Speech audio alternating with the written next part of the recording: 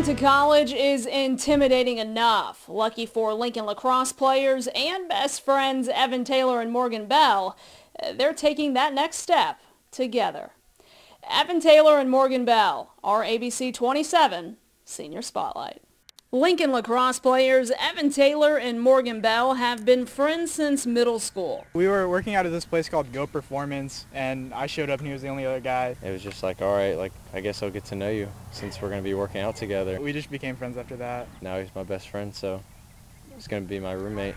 Two friends that will be teammates in college at Belmont Abbey. I couldn't have asked for anything more, really. I mean, I was expecting to go alone.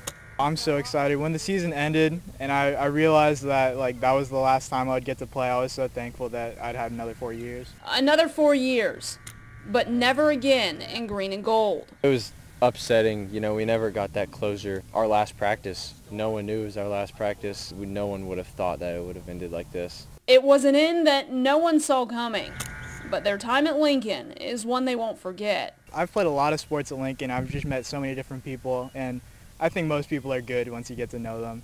Good people who are moving on.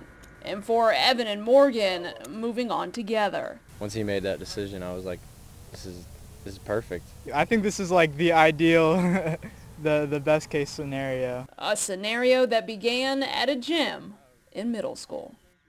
Evan and Morgan said they are currently training together as they get ready to compete at the collegiate level. They said they report to campus at the end of July. In Tallahassee, Allison Posey, ABC 27.